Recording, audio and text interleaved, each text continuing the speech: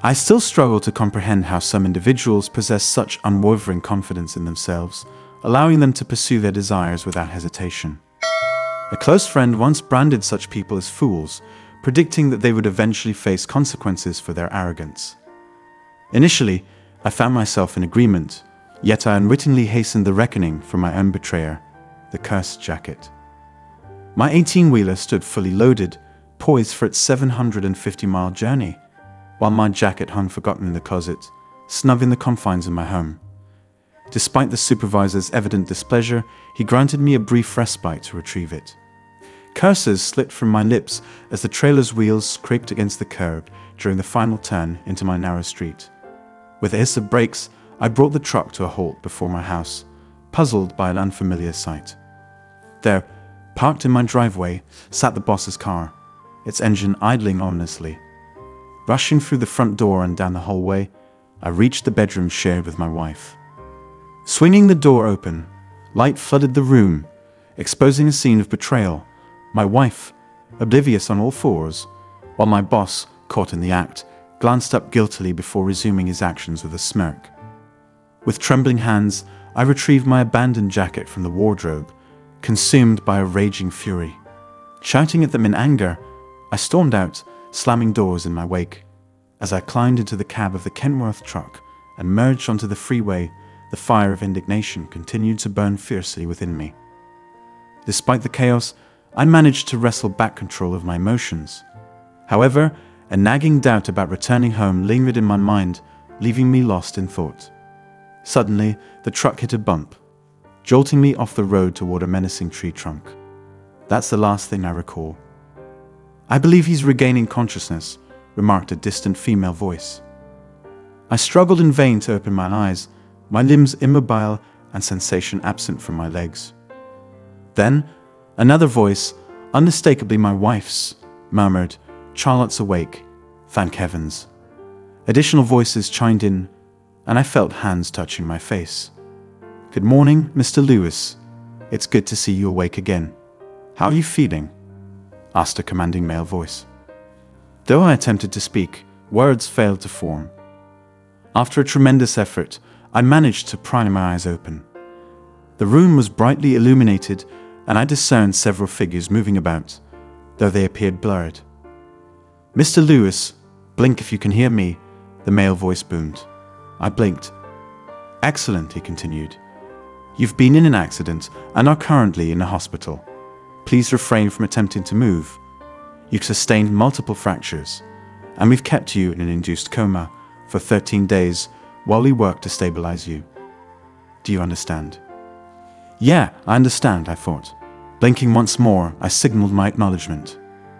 Now we need to focus on your recovery, the voice continued.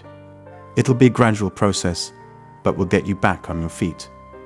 Overwhelmed by exhaustion and drowsiness, I closed my eyes and drifted back into the realm of dreams. Upon reopening my eyes, the passage of time remained uncertain. My vision cleared, and I observed various tubes connected to my body.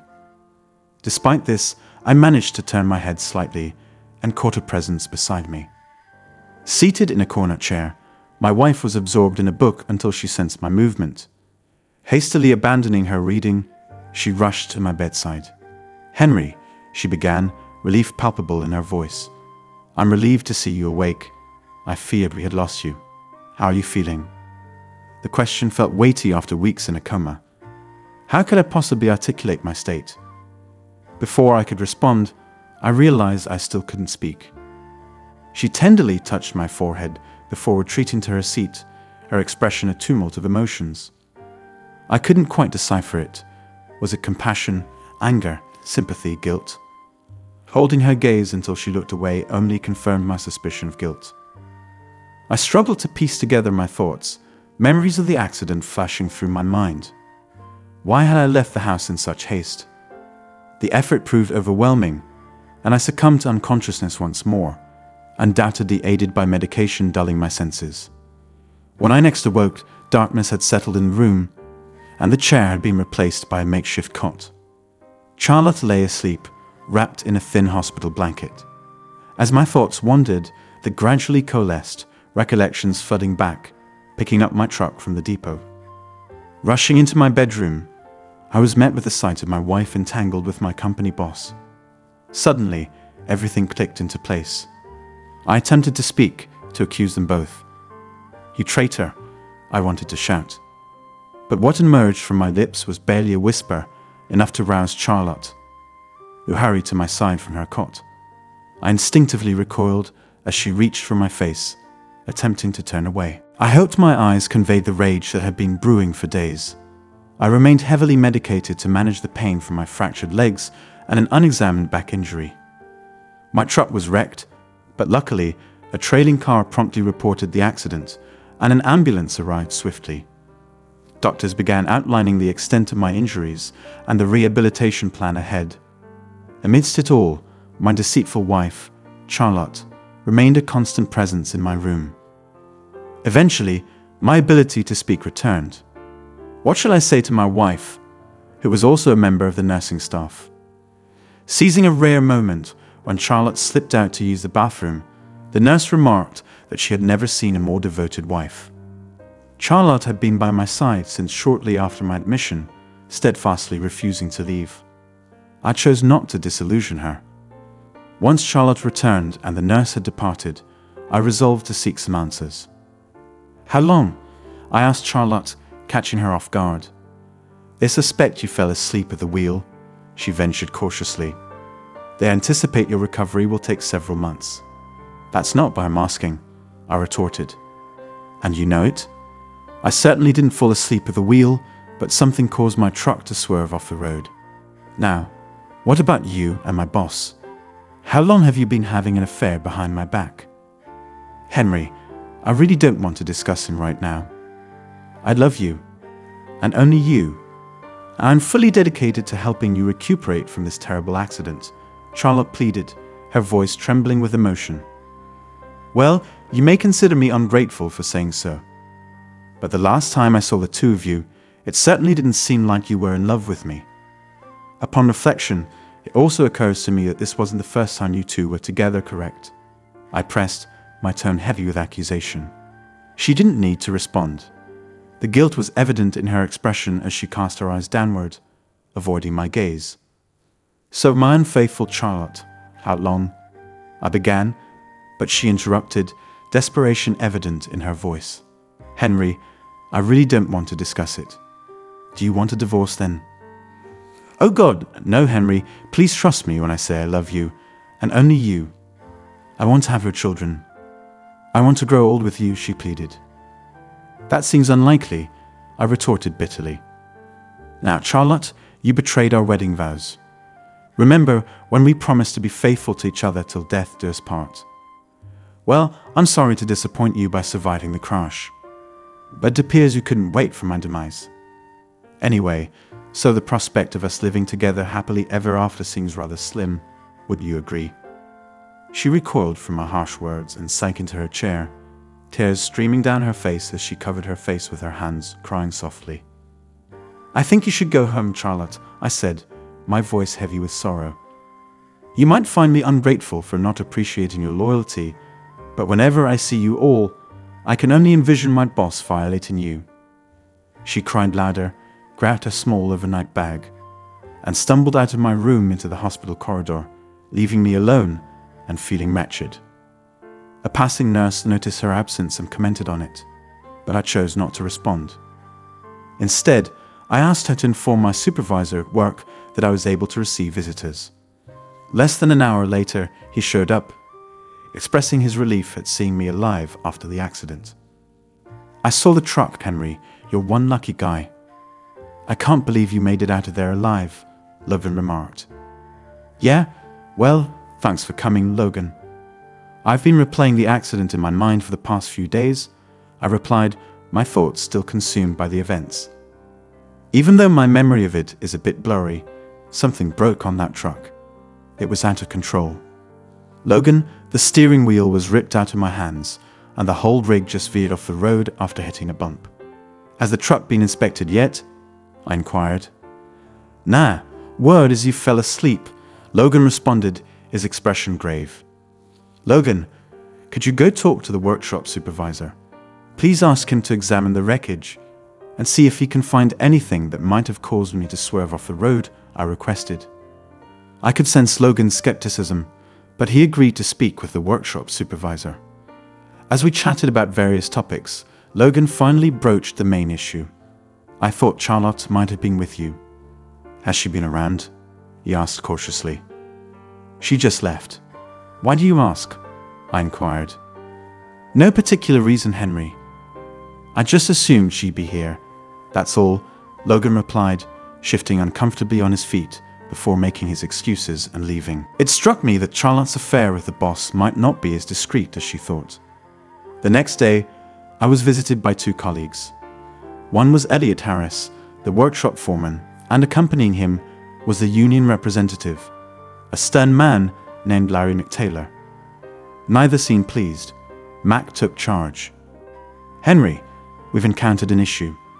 I brought Elliot along to explain, but your accident was inevitable, and I've already initiated the process to inspect and clear every tractor in the entire fleet before its next operation. Management is furious because numerous deliveries will be delayed, and some customers have already threatened to switch carriers if we fail them, Mac explained solemnly. Take a look at the workshop log for your rig, Henry, Elliot said, handing over the oily hardcover logbook for the tractor I had damaged. On the last page, filled out, was a highlighted note about a broken spring on the front axle. Turn back to the previous page, Elliot instructed.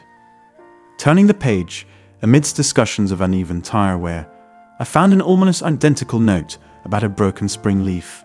Flipping back further, I observed that the broken spring had been mentioned each time the truck underwent servicing.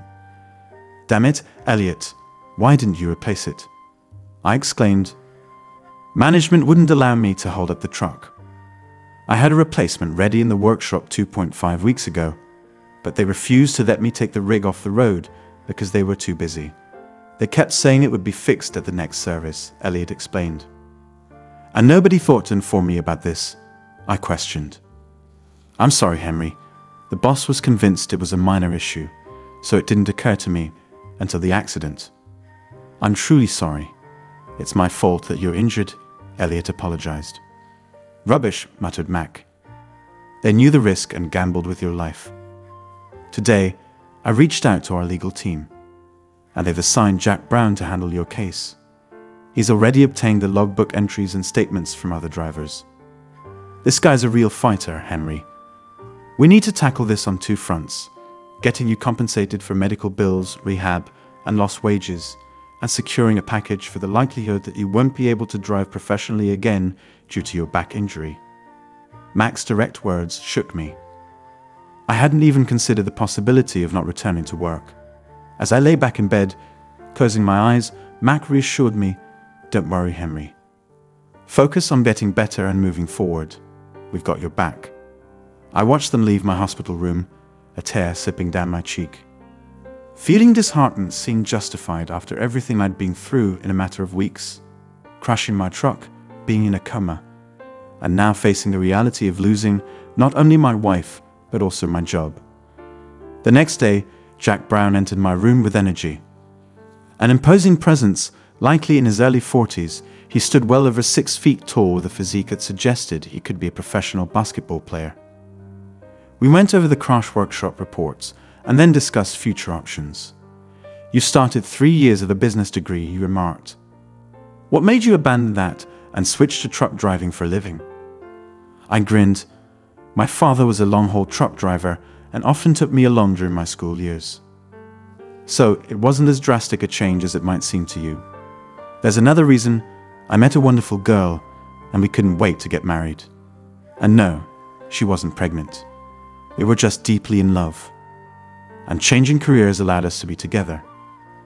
That's a touching story, Henry, but I've heard rumors that things might not be going well between you two, Jack remarked, his incredulity evident.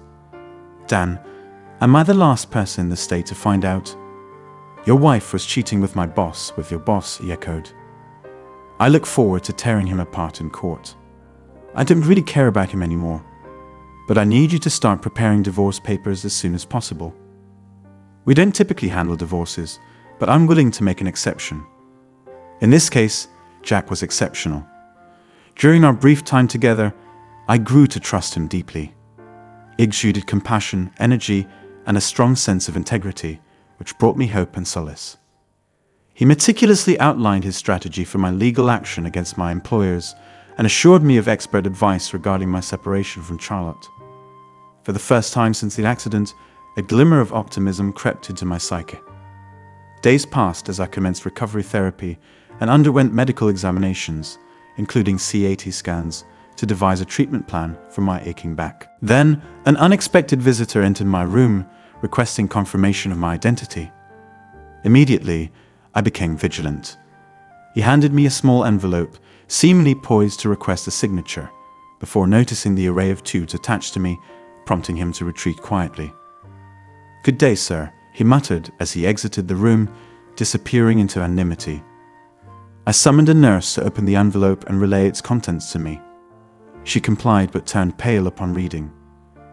It's a termination notice from your company, she whispered. How could they do this to you while you're still hospitalized? I asked her to call Jack on my behalf and read him the letter. As expected, he arrived at my side within minutes, seething with anger over the callousness. This letter will cost this jerk dearly, he vowed.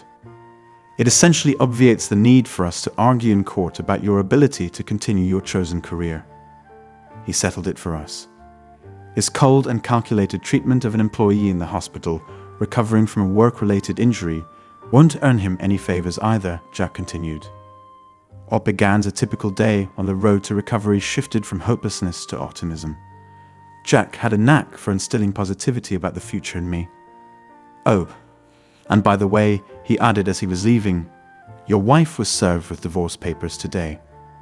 Charlotte hadn't visited since she left in tears, but she entered my room just after dinner, visibly furious. How could you do this to me? she cried. I didn't want a divorce. I made a mistake, Henry, a mistake, but I love you. And I want us to stay together and work it out. I face her in this confrontation much more prepared. Charlotte, your way of expressing love is peculiar. It was distressing enough to witness firsthand the damage you've inflicted on our marriage. Yet it appears I was the last to know what was truly happening. It's evident now that every time I embarked on a long journey, it signaled another rendezvous with my boss. I previously inquired about the extent of your affair, and you evaded the question, but it's irrelevant now, Charlotte. You've repeatedly disrespected me and our marriage vows. Have I ever denied you, Henry? Is that your defense? she asked incredulously. Honestly, Charlotte, I expected better from you. How many times have you two been together since my accident? She averted her gaze and fell silent. I wondered if her silence meant they hadn't been together at all. Could there still be hope? We've had a solid marriage until now. Let's not tarnish our good memories with anger and deceit. We'll have to discuss the division of assets eventually. But now isn't the time. Go home, Charlotte. If he brings you happiness, file for divorce and be with him. But don't expect me to be your life partner anymore. I can't look at you without reliving the moment I caught you with him. There's no way to move past that. Goodbye, Charlotte. I wish you a happy life. Once more, she left my hospital room in tears. This time, I hoped it was for the last time. Initially, my limbs recovered. I maneuvered around the ward with plaster casts, undergoing multiple therapy sessions daily. However, my back injury was severe, necessitating stabilization with metal plates to fuse several vertebrae. A delicate surgery lasting hours. Subsequent recovery proved grueling, marked by persistent pain until my eventual discharge, relying on a regimen of painkillers. Meanwhile, Jack Brown pursued legal action aggressively against the transport company, exploring every legal avenue. Despite initial hopes for a pre-trial settlement, I found myself in court as Jack presented his case to a judge. By day's end, witness testimonies overwhelmingly favored Jack, undermining the company's defense. Before the second day began, the company's solicitors sought to settle out of court. I'm aiming for maximum impact, Jack exclaimed as we entered the negotiation room. They've lost, and they know it. Now they're just trying to limit the fallout. In keeping with his promise, Jack issued a challenge, insisting on a minimum of $9.5 million in damages and compensation. He emphasized my ongoing medical expenses, enduring back pain, and the uncertainty of retraining for a new career. Surprisingly, even I found myself sympathizing with my own plight. The negotiation had to be finalized before the court reconvened at 10:30 a.m., which worked in our favor. When the defense offered $4.7 million, Jack outwardly scolded, concealing a triumphant gotcha. Knowing we'd likely settle halfway between his initial demand of $9.5 million and their offer. Ultimately, he prevailed relentlessly, pushing them until both parties agreed on $7.3 million. I breathed a sigh of relief. With my boss. Since, well, before the accident, I observed with a certain satisfaction his visible anger at being coerced into this situation, as well as his inability to meet my gaze. With the legal matters resolved, I made one last trip to the depot to bid farewell to my colleagues. Elliot, whose meticulous records had highlighted the company's negligence, and Larry, who had advocated tirelessly for my fair treatment. It was time for me to regroup and plan for the future. I made the decision to relocate to my parents' hometown, where I had previously studied, to resume my education. Hoping to secure an administrative position, I purchased a two bedroom apartment near the university and a small hatchback for transportation. Returning to academia was an intriguing experience. I found myself a decade older than most of my peers in the group, but also significantly more motivated. Success became a genuine aspiration, and my parents were thrilled with the new arrangement. I made it a point to visit them every weekend, whether it was taking my dad to football games or occasionally fishing in the bay. We regularly enjoyed meals together at restaurants. Although Charlotte hadn't signed the divorce papers, she appeared to be handling the mortgage and utilities. So I decided not to push the issue, preferring to avoid conflict in my life. Following Jack Brown's advice, I allowed him to arrange for a security agency to install several security cameras in our house until our divorce was finalized. He believed it prudent to monitor the premises without needing to physically check in. A couple of years later, I graduated with honors. The search for a stable, long term job led me to an accounting firm in the city centre, specializing in corporate bankruptcy management. Their approach was largely innovative. Instead of immediately resorting to bankruptcy, their primary goal was to assess operations and attempt to restore profitability, sometimes involving sacrifices from creditors. I found my work fulfilling as part of a small team of seasoned professionals conducting forensic examinations of various companies to identify shortcomings and collaborate with key personnel to devise turnaround strategies. It didn't take long for my knack for pinpointing corporate weaknesses and devising effective solutions to be recognized. Both the partners and my colleagues acknowledged my contributions, and I was entrusted with leading my own team along with a significant salary increase. When a new task arrived at my desk one morning, I was taken aback. The company in financial distress was none other than my former employer. Recognizing the potential conflict of interest, I promptly called a senior partner and requested to be excused from the case. His response was direct Henry, we understand your prior connection with this company, which actually makes you the ideal candidate. Surely, you still have former colleagues dependent on the business for their livelihoods, providing you with an additional incentive to help them out of this situation. Moreover, I have faith in your professionalism. My first task was to inform my old boss that our firm had been appointed and that I would be leading the management team. He went on about the perceived injustice of it, claiming there was no significant issue, just a minor cash flow hiccup that had already been resolved, and that our involvement would be a complete waste of time. I politely mentioned that the intervention had been mandated by the courts and that our team had been tasked with conducting the investigation. I informed him that we would be arriving with my team at 8.45 the following morning, expressing gratitude in advance for his cooperation, and then ended the call. It became immediately apparent upon our arrival that the staff had been instructed to provide as little information as possible, consistently hindering our progress. This response from management was not unexpected to us. We represented their failure to effectively manage their own business. In the morning, I briefly discussed matters with Larry and Elliot over coffee, and following a group discussion with my team, at lunchtime, I reached a decision. I knocked on the boss's door, entered, and suggested that it might be less awkward if he vacated the premises, allowing my team to proceed with our work. Initially, he outright rejected the idea, but upon realizing that I could request his removal by force, he reluctantly acquiesced and left like a disgruntled child. It took me three days to identify the issue. A young member of our team, a petite blonde with pigtails who appeared no older than 18 and had just graduated from a commercial school, approached me with a ledger from a creditor. The inquiry came regarding a driver employed by the company who regularly received payments for long distance trips across the state. However, upon inspection, the same truck wasn't listed on any of the freight manifests.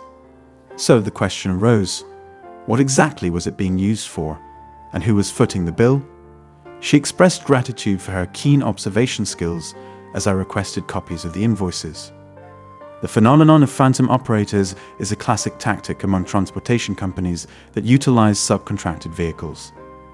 It's typically uncovered when a member of the accounting team never takes time off, diligently attempting to conceal their actions. However, this wasn't the case here.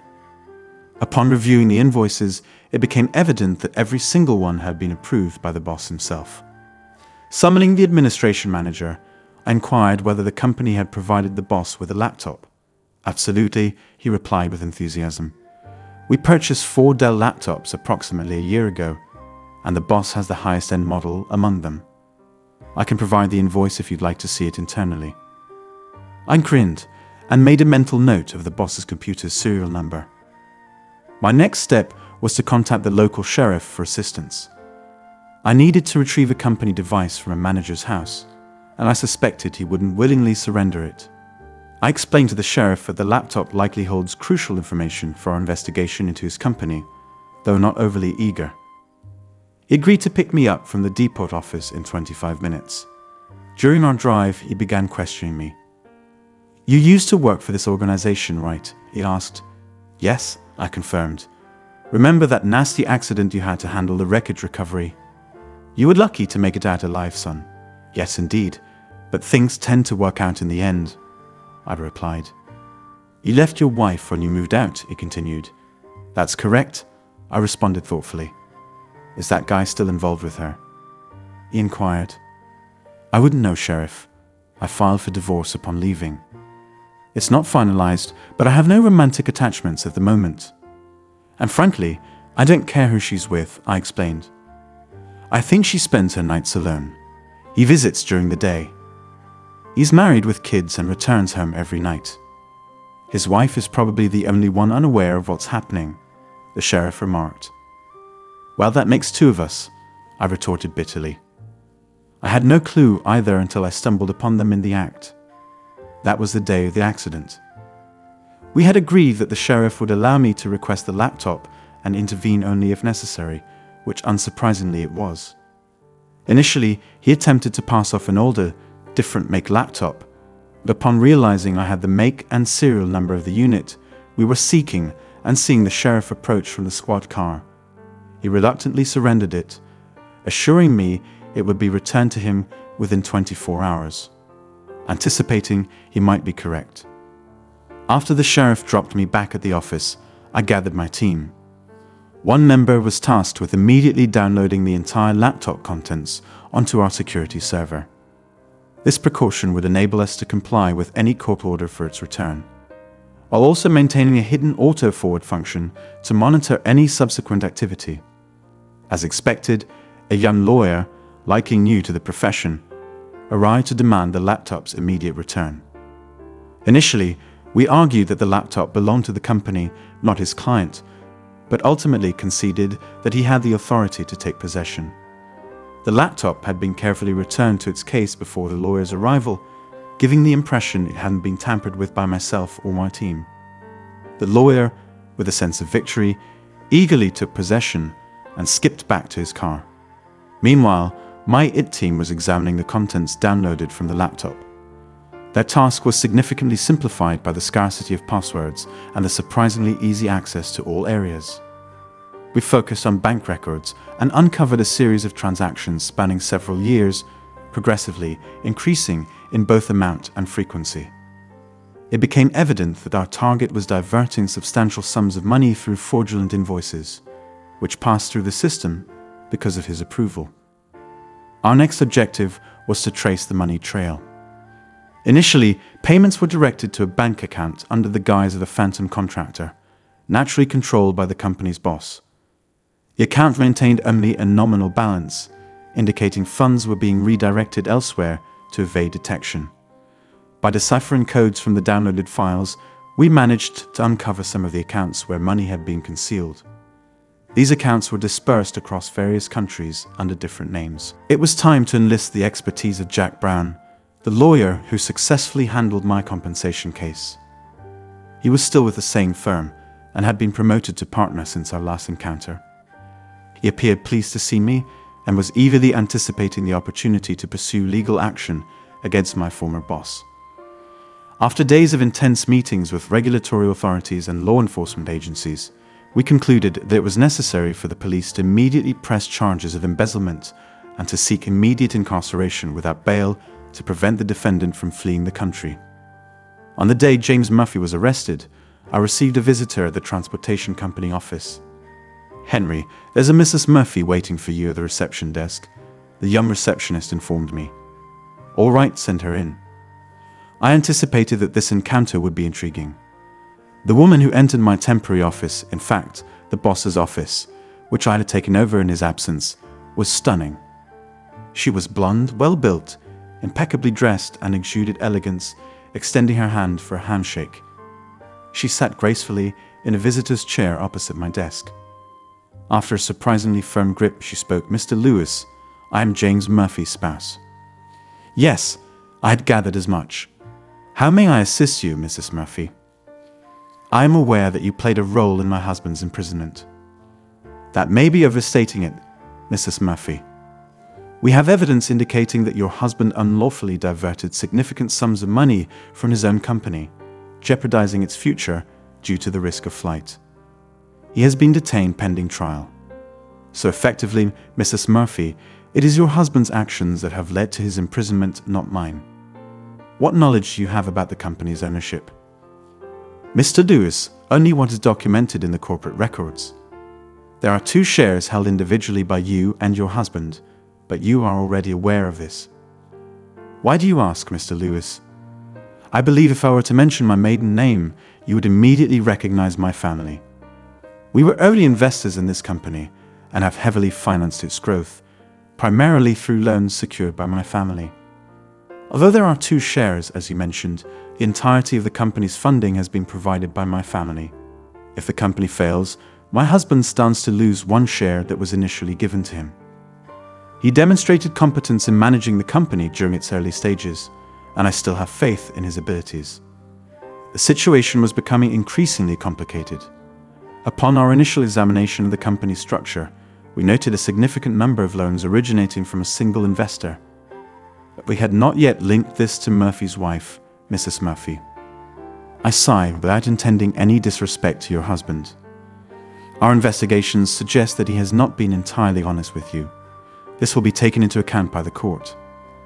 In the upcoming weeks, we've already taken legal action to prevent him from accessing any part of the company's affairs. Additionally, we've reassured the staff that the organization is likely to trade its way out of its financial difficulties. Our findings indicate that it should be operating profitably, and its current precarious state is the result of illicit activities, details of which I cannot disclose. However, I assure you that we won't leave until we're confident in securing its future, or if necessary, liquidating its assets. The refined lady nodded, rose from her seat, thanked me, and gracefully exited the office, leaving a hint of her perfume lingering in the air. By the time the court convened, we had all the necessary evidence lined up. We not only understood how Murphy had moved funds using a fictitious contractor, but also precisely where and when those funds were transferred. However, his motives remained a mystery, as none of the embezzled funds seemed to have been spent in the courtroom. Our lawyer, Jack Brown, systematically dismantled Murphy's defense. Initially, Murphy attempted to evade direct questions evidently unaware of the extent of our gathered information.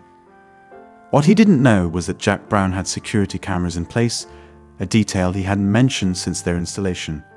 When Murphy was brought back to the witness stand, he struggled to respond to a barrage of financial inquiries before Brown abruptly changed direction. Mr. Murphy, he began innocently, Are you acquainted with a Mrs. Charlotte Lewis? Yes, he replied, visibly pale. Could you please elaborate on your relationship with Mrs. Lewis? Certainly, he said. She is the spouse of one of my former drivers. We would occasionally meet at company gatherings. Is there anything else you wish to disclose about your association with Mrs. Lewis? Feeling unsettled and increasingly frustrated by Jack Brown's probing, he replied, I have no personal relationship with Mrs. Lewis. As I mentioned, she is the wife of a former employee who is currently involved in investigating my company. Have you ever engaged in sexual activity with Mrs. Lewis? Absolutely not, he responded immediately. Your Honor, I request to release this witness for a potential recall later and call Mr. Adam Thompson to the stand. Permission was granted. A burly individual, approximately 39 years old, and carrying a bit more weight than advisable, casually approached the witness stand and was duly sworn in. Mr. Thompson, could you please state your full name and occupation for the court? Adam James Thompson, and I work as a security consultant. Could you please inform the court of the task I assigned you on May 17, two years ago? I was tasked with installing five security cameras in the residence owned by Mr. and Mrs. Henry Lewis. Are these cameras still operational, Mr. Thompson? Yes, sir. Their footage is automatically transferred to our servers every 24 hours. Who is responsible for monitoring these surveillance recordings? Mr. Thompson, up until yesterday, when you requested to see them, nobody had reviewed them with the court's permission. I'd like to present five photographs. May I proceed? The judge nodded, granting approval, and Brown theatrically handed the first photo to the witness, who examined it with a stoic expression. Could you identify the individuals in this photograph? And if possible, the location where it was taken? Certainly. The man in the photo is the defendant, James Murphy. I'm not familiar with the woman in the photo, but she is seated in the gallery. He pointed out Charlotte, who was attempting to shrink into her seat. Could you describe to the court what the individuals in the photograph were doing at the time?